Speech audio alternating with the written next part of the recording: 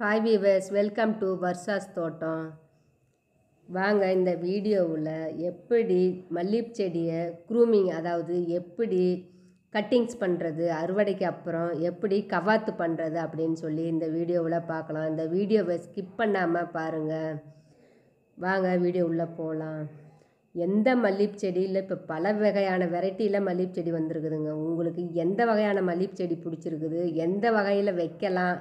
அப்படிங்கிறது உங்களுடைய சாய்ஸ் தாங்க. செடியாக ஒரு மல்லிகைப்பூ செடி வளர்த்துறேன் இல்லை கொடியாக வளர்த்துறேன் அப்படிங்கிறது உங்களுடைய விருப்பத்துக்கு இடத்து இடத்துக்கு தகுந்த மாதிரி நீங்கள் செடி வைக்கலாங்க. இப்போ நான் ஒரு செடியை செடியாக வைக்கிறேன் செடியாக வளர்க்கலான்னு ஆசைப்பட்றேன். ஒரு பாட்டிலையோ க்ரோ பேக்லேயோ இல்லை ஒரு நிலத்துலையோ ஒரு தரையில் மண் தரையிலையோ நான் கீழேயே வச்சு ஒரு செடியாக இது மாதிரி வளர்த்துறேன் அப்படின்னு ஆசைப்பட்டீங்கன்னா நீங்கள் செடி வாங்கிட்டு வந்து நல்லா ஒன் இயர் டூ இயர்ஸ் வரைக்கும் செடியை எப்படி வளருதோ வளர வரைக்கும் விடுங்க. தண்ணி ஊற்றி வந்து வளர்த்து விடுங்க. அப்படியே வளர்ந்துக்கிட்டே வருங்க. இந்த அளவுக்கு வந்ததுக்கப்புறம் நீங்கள் செடியாக வளர்த்துறேன் அப்படின்னா கட் பண்ணி விடுங்க. ஒரு ரெண்டு அடிக்கு விட்டு அதுக்கு மேலே இருக்கிற சுற்றிலும் ஃபுல்லாக ஒரே லெவலாக பார்த்து கட் பண்ணி விடுங்க. ஒரு கட்டரை வச்சு கட் பண்ணி விட்ருங்க இது பாருங்கள் செடி மாதிரி நான் வளர்த்து வளர்த்தேன். அதனால் கட் பண்ணி விட்டதுக்கு அப்புறம் டூ இயர்ஸுக்கு அப்புறம் செடி வளர்ந்த டூ இயர்ஸ் ஆகணும் கம்பல்சரி இல்லை ஒன் இயர் ஆகணும் அப்படின்னு இல்லைங்க. ஒன் இயர் வரைக்கும் பாருங்கள் இந்த அளவுக்கு ஸ்டேஜுக்கு வளர்ந்துருச்சுன்னா நீங்கள் அந்த சம்மரில் விட்டுட்டு மழை சீசன் போது நீங்கள் ரெயின் சீசன் போது நீங்கள் கட் பண்ணி விட்டிங்கன்னா நல்லா துளுத்து வருங்க. அந்த டைம் பார்த்து இப்படி கட் பண்ணி விட்டுருணுங்க. பாருங்கள் செடி மாதிரி அழகாக இருக்குங்க ஆலமரம் மாதிரி இருக்குதுங்க. இது மாதிரி கட் பண்ணி விடணுங்க. எந்த வகையான மல்லிகைப் செடியாக இருந்தாலும். செடி மாதிரி வளர்க்குறேன் ஆசைப்பட்றேன் அப்படின்னா இது மாதிரி ரெண்டு அடிக்கு விட்டு ஒரே லெவலாக கட் பண்ணி விட்ருணுங்க செடி பூத்தாலும் சரி பூக்குழினாலும் சரி புது செடியாக இருந்தால் இது மாதிரி கட் பண்ணி விட்டிங்கன்னா தான் மறுபடியும் அதில் துளுத்து வந்து பிரான்ச் நிறையா வந்து ஆலமரம் மாதிரி நல்ல செடி மாதிரி இருக்குங்க. இது மாதிரி கவர் பண்ணி விடணுங்க. குண்டு மல்லியாக இருந்துட்டோம் மதுரை மல்லியாக இருக்கட்டும் இல்லை அடுக்கு மல்லி இல்லை அஞ்சு அடுக்கு மல்லி எட்டு அடுக்கு மல்லின்னு இப்போ பல விதத்தில் வந்துருச்சுங்க. முல்லைப்பூவாக இருந்தாலும் சரி ஜாதி மல்லியாக இருந்தாலும் சந்தன மல்லியாக இருந்தாலும் சரி கடையில் விற்கிற அந்த பச்சை ஸ்டெம் உள்ள மல்லிகைப் செடியாக இருந்தாலும் எந்த வகையான மல்லிகைப்பூ செடி எப்படி வெரைட்டியாக இருந்தாலும் சரிங்க. உங்களுக்கு எந்த வெரைட்டி எந்த மல்லிகைப்பூ செடி பிடிச்சாலும் நீங்கள் நான் செடியாக ஆசைப்பட்றேன்னா இப்போ சொன்ன மாதிரி பண்ணுங்கள் அடுத்தது கொடி மாதிரி இருக்கிற செடியை நான் எப்படி கவாத்து பண்ணுறது அப்படின்னாலும் அதுக்கும் இதே மாதிரி தாங்க சேம் மெத்தேடு தாங்க. செடியானதுக்கப்புறம் நீங்கள் இப்போ ஜாதி மல்லி அப்படிங்கிற மாதிரி இருந்ததுன்னா எப்படி கட் பண்ணுறதுன்னு காட்டுறேன். மற்ற மல்லிகைப் செடியாக இருந்ததுன்னா எப்படின்னு பார்க்கலாங்க. மற்ற மல்லிகைப் செடியாக இருந்தாலும் ஒரு அளவுக்கு மேலே கொடி மாதிரி என்ன ஃபஸ்ட் ஃப்ளோரில் ஏற்றி விட்டிங்கனாலும் ஃபஸ்ட் ஃப்ளோர்லேருந்து மேலே வரைக்கும் கொடியாக வந்து அங்கேயும் வந்து செடி மாதிரி இருக்குங்க பந்தா. அப்பையும் நீங்கள் என்ன பண்ணணும் இது மாதிரி தாங்க கட் பண்ணி விடணும். பாருங்க பூவு. பூ பூத்துச்சுங்களா? கட் பண்ணி விட்டேன். கட் பண்ணி விட்டதையும் புது கொழுந்து வந்து உடனே பூக்குதுங்க. ஆக நம்ம மல்லி இந்த சீசனில் தான் கட் பண்ணணுங்கிறதே இல்லைங்க. புதுச்செடியாக வாங்கிட்டு வந்தீங்கன்னா ஒன் இயர் டூ இயர்ஸ் பாருங்கள் அந்த செடி வளர்ந்ததுக்கப்புறம் ரெண்டு அடி விட்டு கட் பண்ணிட்டீங்கன்னா செடி எப்பூக்குங்க எப்போ வேணுமாலும் பூக்குதுங்க. நானும் ரெண்டு மூணு முறை பார்த்துட்டாங்க இந்த சீசனில் தான் கட் பண்ணி விடணும். இந்த சீசன் தான் நம்ம பூச்செடி வச்ச செடி எப்போ அறுவடை ஆகுதோ அப்போ கண் கட் பண்ணி விட்டலாங்க பார் கட் பண்ணி விட்டதையுமே இதில் பாருங்கள் ஏகப்பட்ட மொட்டு இருந்ததுங்க. இந்த எட்டு அடுக்கு மல்லிகைப்பூன்னு சொல்லுவாங்க. பட்டன் ரோஸ் மாதிரியே இருக்குங்க இது. ஒரு பூ வச்சாவே அவ்வளோ பெருசாக இருக்குங்க. சூப்பராக இருக்குங்க. சின்ன பாட்டில் தான் வச்சுருக்கேன். ரெண்டே ரெண்டு கிளை வந்துச்சு. கட் பண்ணி விடவும் திருப்பி பிரான்ச் நிறையா கிளை வந்து அதில் நிறையா மொட்டு விட்ருக்குது பாருங்கள் இவ்வளோ சூப்பராக இருக்குதுங்க. இப்போ எந்த வெரைட்டியாக இருந்தாலும் இது மாதிரி தாங்க கவாத் பண்ணி விட்றதுன்னு சொல்லுவாங்க. ஆனால் பூ பூத்ததுக்கு அப்புறம் அப்படியே விட்டுட்டிங்கன்னா அப்படியே தாங்க இருக்கும். கட் பண்ணி விட்டால் தான் புது கொழுந்து வந்து திருப்பியும் மொட்டு விட்டு நமக்கு பூ கொடுக்கும். இது மாதிரி தான் கவாத்து பண்ணணும். அடுத்தது வந்து ஜாதி மல்லி. ஜாதி மல்லியை வந்து நம்ம எப்படி கவாத்து பண்ணி விடலாம் அப்படின்னா நாங்கள் கொடியாக வெளியிலேருந்து உள்ளே வருதுங்க காம்பவுண்டு உள்ளே வந்து இப்படி கொடியாக படர்ந்து இருக்குதுங்க இது வந்து அரும்பு அரும்பாக எல்லாம் நிறையா பூ பூத்துக்கிட்டு இருக்குது.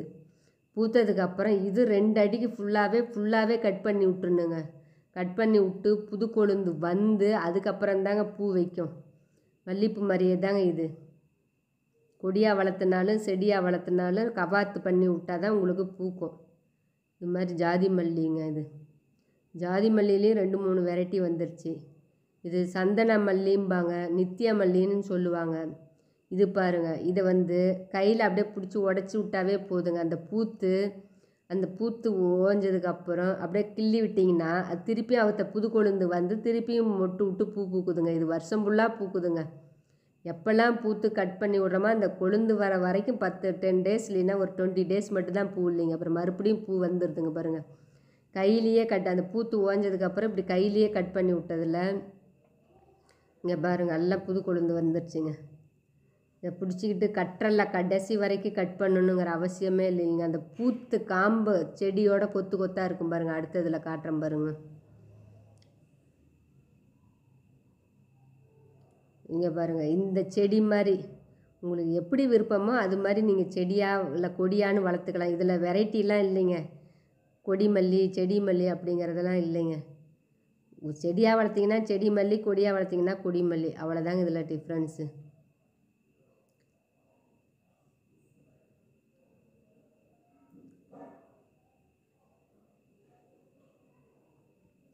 இது மாதிரி பாருங்கள் எல்லாம் கட் பண்ணி விட்டோம் ஐயோ இவ்வளோ செடி குரோத் ஆகி வளர்ந்ததை போய் நம்ம இவ்வளோ கட் பண்ணி போட்டோமேன்னு நினைக்காதீங்க.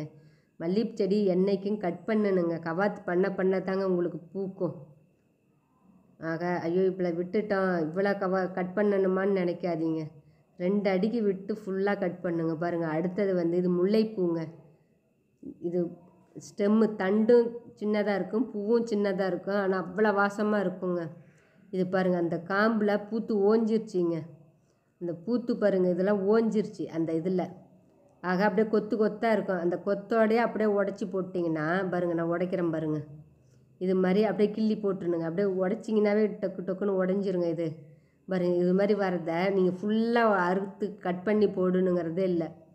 இந்த பூத்த காம்பை மட்டும் அப்படியே கட் பண்ணி விட்டுருணும். கையிலே பிடிச்சி இழுத்திங்கன்னா கட் பண்ணிங்கனாவே வந்துடுங்க டொக்கு டொக்குன்னு உடஞ்சிருங்க. பாருங்க அந்த காம்பு பூத்த காம்பெல்லாம் கிள்ளி போட்டிங்கன்னா உடச்சி போட்டிங்கன்னா இது திரும்பி இதில் இருந்து மறுபடியும் பூ மொட்டு வந்து பூ பூக்குதுங்க. பாருங்க அப்படியே கொத்தா வருங்க. முல்லைப்பூ என்றைக்கும் பார்த்தீங்கன்னா அப்படியே ஒரு பிரான்ச்சில் ஒரு நூறு பூவுக்கு அப்படியே மொட்டை விட்டு அப்படியே பூக்குங்க. பாருங்க எல்லாம் இதெல்லாம் பூ பூத்து ஓஞ்சிருச்சிங்க. பிடிச்சி அப்படியே ஒரு பத்து உங்களுக்கு பெரிய செடியாக இருந்தால் நீங்கள் பாதி அளவுக்கு அது மாதிரி கிள்ளி போட்டுட்டு பாதி அளவுக்கு ஒன்று ரெண்டு பூ குட்டுன்னு விட்டிங்கன்னா ஷிஃப்ட் வைஸ் மாதிரி உங்களுக்கு பூக்குங்க. செடி சின்னதாக நான் ஃபுல்லாகவே கட் பண்ணுறேன் அப்படின்னாலும் கட் பண்ணலாம். உங்கள் விருப்பம்தாங்க.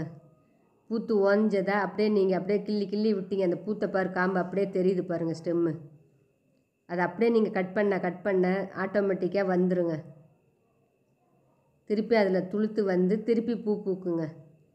பாருங்க அது அப்படியே பூத்தத காம்பை மட்டும் அப்படியே கையிலேயே பிடிச்சி பிடிச்சி கிள்ளி விட்டுடலாங்க முல்லைப்பூ இது மாதிரி தாங்க பண்ணலாம்.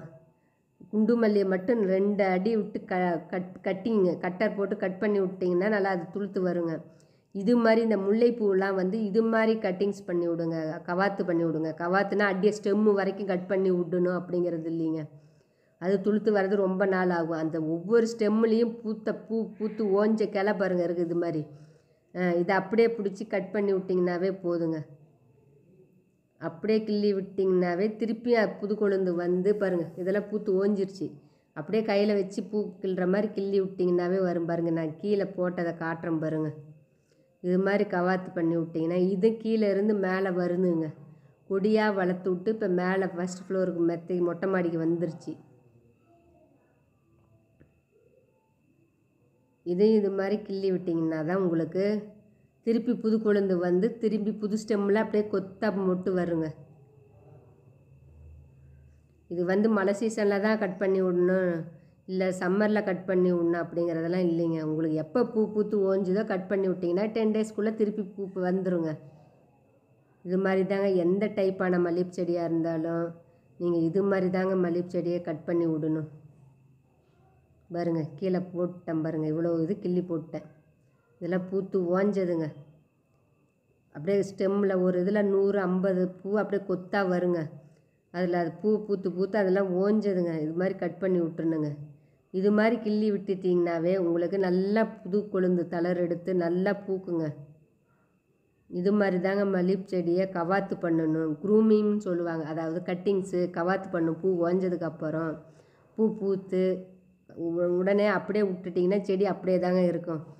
செடி வளரவும் வளராது உங்களுக்கு பூவும் கொடுக்காது. கட் பண்ணி விடணும் இது மாதிரி கவாத்து பண்ணி விடணும் இது மாதிரி முல்லைப்பூ செடியை இந்த பூத்த கொ கொழுந்த அந்த ஸ்டெம்மை வந்து இப்படி இப்படி கிள்ளி விட்டிங்கனாவே உங்களுக்கு புதுசாக பூத்து வருங்க.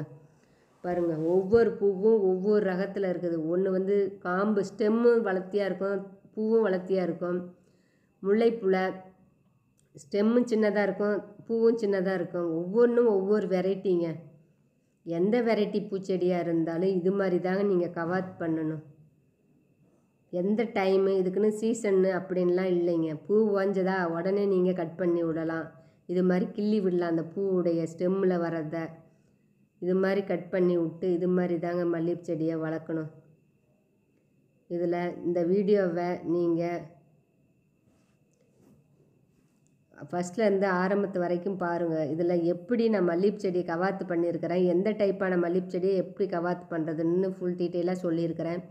அது மாதிரி நீங்களும் இந்த பதிவை பார்த்துட்டு இது மாதிரி பண்ணுங்கள் நிறையா பூ பூக்கும். இந்த வீடியோ பிடிச்சிருந்ததுன்னா லைக் பண்ணுங்கள் ஷேர் பண்ணுங்கள் கமெண்ட் பண்ணுங்கள் மறக்காமல் சப்ஸ்கிரைப் பண்ணுங்கள் ஓகே பாய் தேங்க்யூ